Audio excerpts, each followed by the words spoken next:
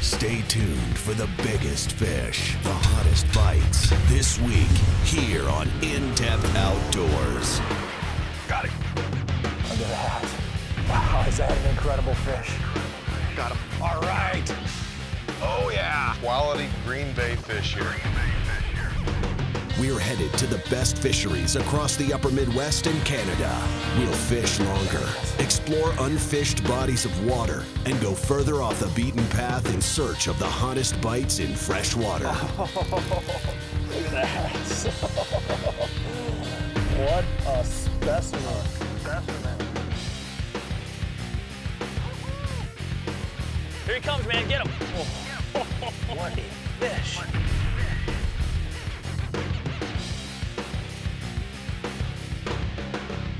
This is In Depth Outdoors.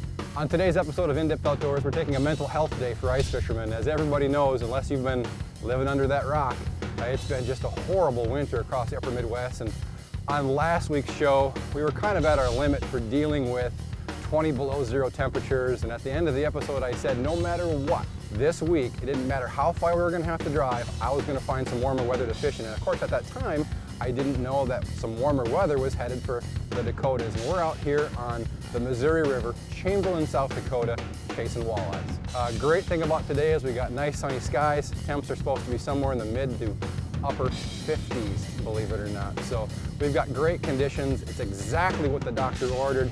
So if you've been uh, dying to kind of scratch that midwinter open water walleye itch, come on along. I think you're gonna enjoy today's show. Beautiful weather, open water, on the boat. I'm gonna get to the back. You're gonna have to give us a push. Okay. We're gonna need some 300 uh, horsepower help. I know you can do it. Quite a bit of difference to, compared to last week, huh? Exactly. Soak up that vitamin D.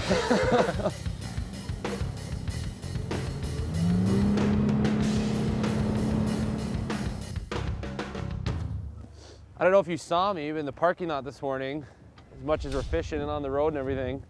I had my extension on my StrikeMaster auger up in northern parts of the state. Yeah. I come down here and it's long rods and open water. You've been on a bit of a tour this week. Yes, a little bit. A little bit of everything. You know, next week we'll be back on the ice, but for right now, it just feels right. right. Not having to. Yeah, exactly. There we go. What you got? Fish. All right, man. First Walleye. walleye of the open water season, dude. February 17th, Missouri River. Not a huge fish, great eating fish, but It's bigger than the one I've caught so far. for the first fish of the open water, I will definitely take it. Green jig, minnow, VMC. Okay, go back and get another one. Take a jig and a minnow. Well done. Standby. Well, I'm gonna stick with the jig and plastic uh, just long enough to let you get about two or three ahead of me. That's it. Put my foot down.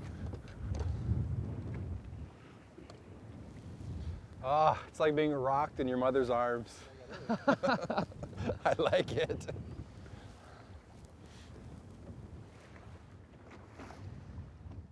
There we go. Fish on. Hey, that's it. I'm done with you. You need a net or? I think I can get them. Not bad. Different, chunkier. Hey, Quintin. I, I haven't kept any fish in quite a while, man. You, I mean, I wouldn't mind keeping a few if you're all right with it. Yeah, that's a great, I mean, that's like a seven, 16, 17 inch fish, just chunky Missouri River walleye. Like I just said, they are not monster fish, but for February 17th being in a boat, I am sick, not sick of it, but staring down an ice hole and sitting in an otter to get back out in the boat and cast and just Feels walleyes good. whacking jigs right there. VMC Moon Eye and a fathead. Not nearly complicated enough, right? No, Let's live well his keister. right on. Skeeter Boat Center, with its flagship dealership located in Chippewa Falls, Wisconsin, has opened a second location in Ramsey, Minnesota to better serve their customers. Stop in and check out the largest selection of Skeeter boats in the upper Midwest, including an extensive inventory of MX and WX models and a wide range of Skeeter bass boats, all backed by our best price guarantee and serviced by Yamaha five star service technicians. Find us online at skeeterboatcenter.com. And remember, our goal is to help you have fun fishing. You know what makes this even more special is back home today, obviously it's going to be below freezing and they're expecting five to seven inches of snow. Out here, middle of South Dakota, there's hardly any snow left and we're going to be in the 50s. Easy to deal with breeze. It's not going to take a lot of fish in the boat for me to feel like this is a successful day. Anybody that's been ice fishing this winter knows exactly what we've been going through. I mean, it's just been so miserable. I mean, we were down to the point of it was going to take counselor appointments or antidepressants or something to keep us going.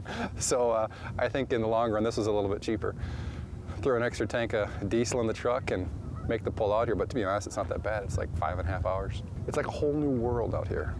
Five and a half hours, and you go from five to seven inches of snow and cold temperatures. It's going to blow like mad today back in Minnesota, and here it's going to, I mean, I've stripped about two layers off that I normally wear when I'm ice fishing.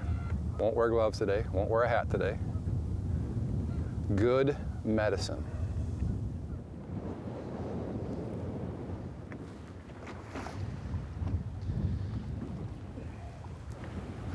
Got him! Right on top of your waypoint from the last time, Quintin. On the board. On the board. You're on the board. Oh, he gonna be good in the batter. Come here, Same buddy. animal. That's a live will fish right there. Perfect, perfect, perfect. Kind of feels like about an eight pounder to me based on my mood right now. Quintin, would you do me a favor and uh, live well that guy for me, please? Did you go to Minnow? I did, I went to Minnow. I don't like being outfished very much. You were two up on me and I had to kind of pull the plug Battle on that. back. Another one for a little fish fry. Yeah, copied your jig color, jig weight, the everything. Whatever works. But that was right on that same waypoint. Something holding them. Well, you can see on the shoreline, it, it kicks out right here. Yeah. Bunk.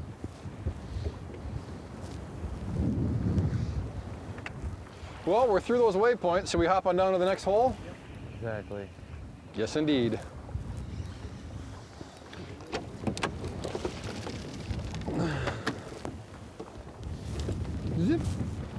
Pretty solid pass. Uh, three fish on that pass. That's not too bad.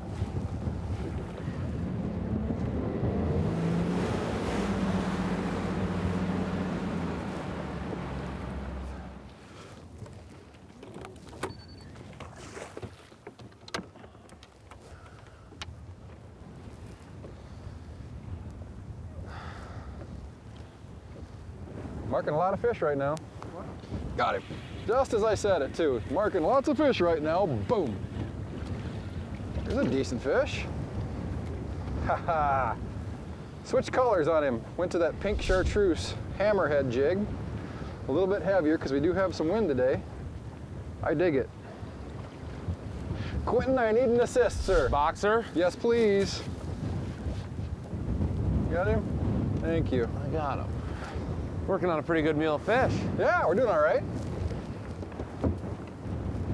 Quarter ounce, James? Three eighths ounce? I went to a 3 eighths. Okay, I got a quarter on. I thought about the three eighths. I'll give this a little and see what we turn up. I think with the wind, I might be better off with the three eighths. I know I was struggling with it a little bit. Make the cast and the line would get away from me, get too much of a bow in it. You know, the pattern we're fishing today is really pretty simple. We're, we're targeting the deeper pools of water that we're finding up and down the length of the river. And as it turns out, we've got a little bit of deeper water over my right shoulder here.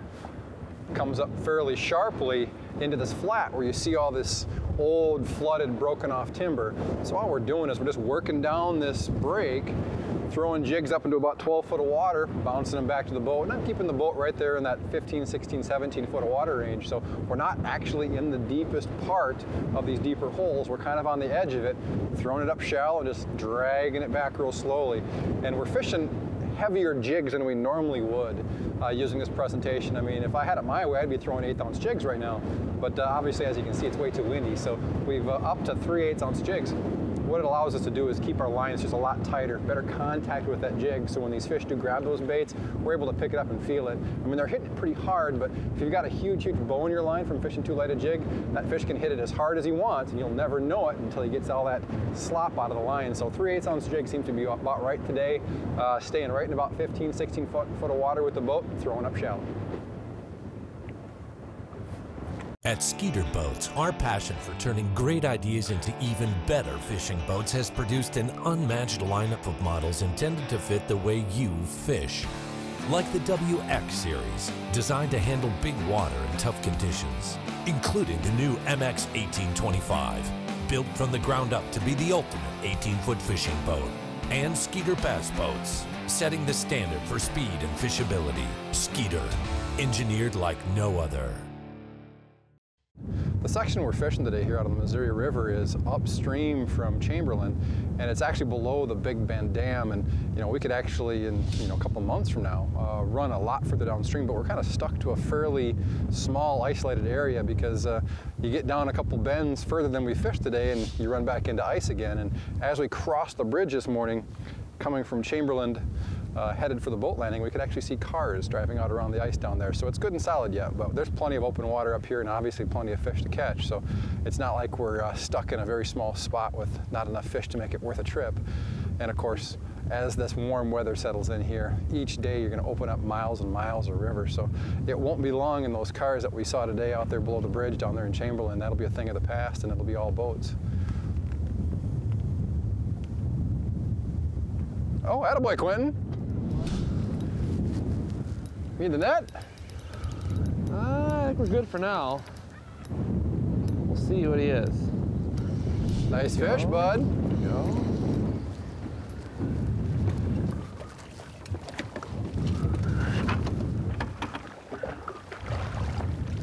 Only counts if you get him in a boat. There we Yeah. go. That's a chunker. I switched up a little, went back to that hammerhead jig, green chartreuse. Nice fish. Well, that same depth we were talking about, 12 to 14 foot. A little bit better quality. We just kind of moved to a little bit different same spot. We had fished a little bit earlier in the day, a little bit darker water, and that fish came up and just smacked it. And the last spot we were at, we had, you know, cleaner water and they were a lot more tentative. We were getting some short strikes coming back with half a minnow, but this fish came up and walloped it. So were gonna get another minnow and get back out there.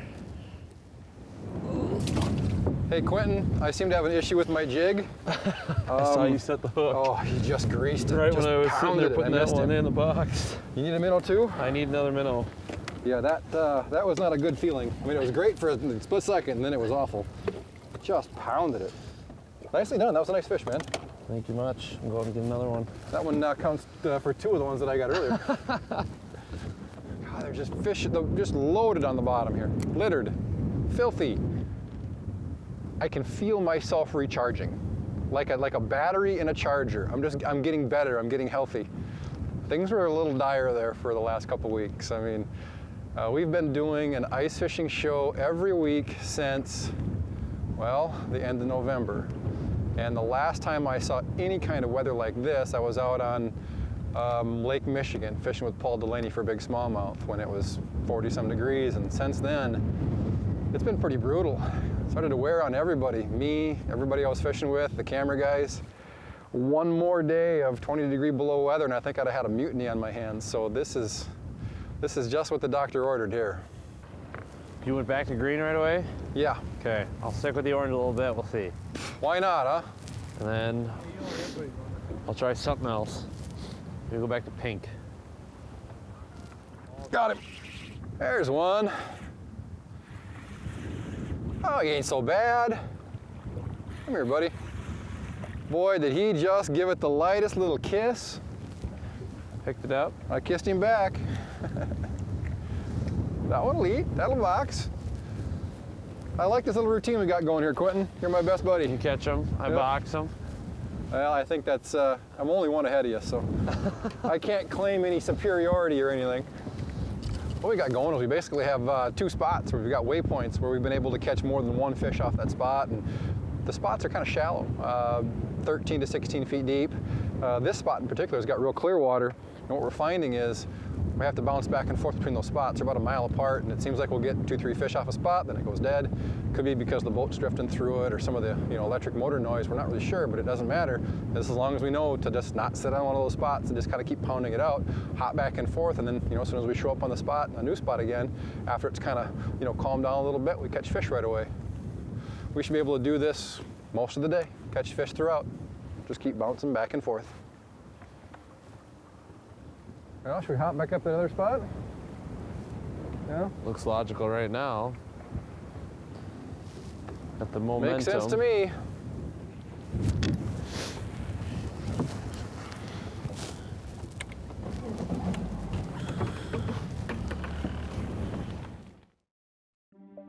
Marcum Technologies introduces ice fishing to the digital age with the LX Digital Sonar System. Boasting vivid color LCD displays and features not found on other ice electronics, all digital units offer a user-defined display tailored to match the way you fish.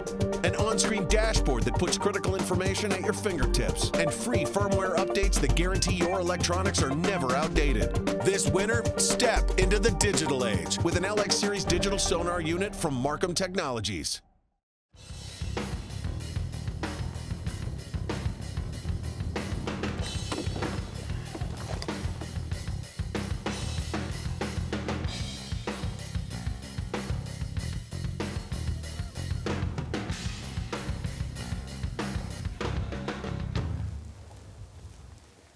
We're gonna fish till dark. It's about a five and a half hour tow back home, and when we get home, I get to shovel snow. it's gonna be a readjustment period, I guarantee you that. Pretty similar all along the Missouri River here. You know, I fished Lake Oahe, which is North Dakota border down to Pierre. Then you have Lake Sharpe, which is Pierre down to the Big Bend Dam here. And then we're on Francis Case here, which runs actually down to Pickstown. And then you get into Lake Lewis and Clark. And pretty similar pattern all along. You know, it's kind of starts early in the year is jig bite early on. And, you know, like I said, it's February 17th here, but by March on just about all four of those reservoirs, there's a good, you know, jig and minnow bite going. There's a great fishery all the way from, from the North Dakota border, basically down to Pickstown and beyond, you know, in Nebraska. So The thing that really stands out for me about this area is just how much warmer it is on average. I mean, you start to think, you know, North Dakota, South Dakota, you think bitter winters, and every time I look at the weather for Platte, South Dakota, it's 25 to 30 degrees warmer than back home. You know, we drive out here five hours and it's 50 some degrees today. Yep. The ice fishing season up here is just so short compared to ours. I mean, in another couple weeks, for all intents and purposes, they're, I mean, they're done on the river up here. when we look on the banks, you got, you know, some frozen bank ice, but literally no snow. And when you get down, it's like it's almost like that I-90 corridor. I-90, you can draw a line, and I don't know what it is, but you talked about on average, it's like throughout the winter, they have so many days, even December, January, and then early February here, where, like you said, you look and 45, 50, and I said those guys are singing and dancing down on the ice down there, or they're out in the boats. And where I live up on Highway 12, you know, Webster to Aberdeen up there, we're freezing our cans off still. yes, we are. One of the obstacles that we're starting to run into up by us is too many extensions. I don't want to go places where I got to run two extensions, you know, but I think it's going to become a reality here in a, in a heck of a hurry where a lot of the places that we'd go late season, particularly for, you know, better walleye bites, you're looking at some major work uh, to just make a hole in the ice. and you look in the forecast at single digit temps coming up, you're starting to question yourself how much is how much how much ice are we going to get and how long are we going to have it. Last year we had we still had fishable ice May 1. We were still walking on fishable ice. I personally would like to be in the boat long before that, but I'll take ice in April. I have some pent up walleye anger to unleash uh, next week. I'm not sure where we're going to go, but I've kind of got this uh, thing in my head now that we need to go beat up on some big walleye through the ice. You know, we're not done by any means with our ice fishing broadcast. I mean, this is a, uh, a rare treat. It's kind of a, uh, a break in the action, so to speak, to kind of recharge our batteries, as we said many times. But next week, we're going to be back on the ice. We've got a couple real good ideas for some great ice bites yet that we're going to you know, make part of the broadcast season. But this is week 14. I mean, last week was halfway through our 26-week season. You know, we, we wrap up May 18th, so we've got a lot of fishing yet to do. So A couple more uh, ice fishing episodes, and that'll transition us real nicely right into uh, the rest of our, our, our season where it's going to be mostly open water, a lot of rivers. Detroit River, Wisconsin River, Mississippi River, you know, a lot of the lakes, of course, are still going to be, you know, froze up well into April, so those are off the table, of course. But uh, we'll have a lot of big walleyes to catch, or I hope we do. Come on, fish. Well, it got him, got him. There he is, man. That's the way it's supposed to work. Now that fish was a little bit deeper, 17 foot of water. Kind of one of those smaller end fish for what we've had today, but certainly a nice fish. I know he would definitely not make the live well based on his size. We've got some that are definitely nicer than that. Nice looking fish though, glistening in the, the sun there as the sun's starting to set. See you later, buddy. Quintin, I need a minnow. I got you. Nothing's changed. This has basically been the, the prescription for the day. Same jigs. We've talked about it a little bit that really all, all we've had to change is just some of the colors that we've used. Green and clearer water. When the wind was really kicking, we used more oranges just to give a little bit better visibility down there so these fish could find the baits. You know, it's amazing what that wind was doing to this water clarity. I mean, it would turn it from pretty crystal clear like we have here to just chocolate, chocolate milk. We're getting down to scraps on the minnows. I don't know how many fish we've caught today. I mean, the action's been real spaced out all throughout the day. Hit a new spot, catch a couple fish, move on to the next spot catch a couple fish and then hop back and forth between the areas we've found. We've never really had a long drought period and we've never really had a time of the day where we've caught, you know, a whole bunch of fish in a short amount of time. It's just been steady all day long. Sun's going down. I think I've used just about the last bit of big bait that we've got. We've gone through a lot of minnows today. Um, sun's setting over my shoulder, so I think it's time to go put this boat back on the trailer. What do you say, Quintin? You get your fill? I got my fill. I am recharged, ready to go for the rest of winter. Well, I figure we got about five more hours until we get back to reality. Uh, it's going to be interesting to see what the Twin Cities looks like when we uh, roll back in. I know they got a lot of snow today.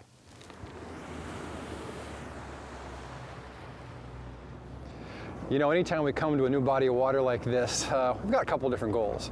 Uh, but I've always said, uh, anytime you get to go to a, a new area, catch one fish on a newly discovered spot, that's a success. So uh, today on all accounts, you figure in the weather, got to spend time with a great buddy, uh, Quintin Biermann, and we got to catch some fish on a, on a body of water that we had absolutely no experience with. Uh, everything came together exactly the way we wanted. I mean, hey, if an eight pounder would have come my way, that had been just icing on the cake. But uh, really now, what Quintin and I have to look forward to uh, is we're rejuvenated. Uh, what has been a very, very tough winter, we're ready to tackle the rest of it. And I figure we got a couple, three, four more weeks of good ice fishing shows yet to go. So uh, from Quintin and I, he's backing down the truck. Uh, I'll say goodbye tonight. Uh, thanks for watching from both of us. We'll see you next week.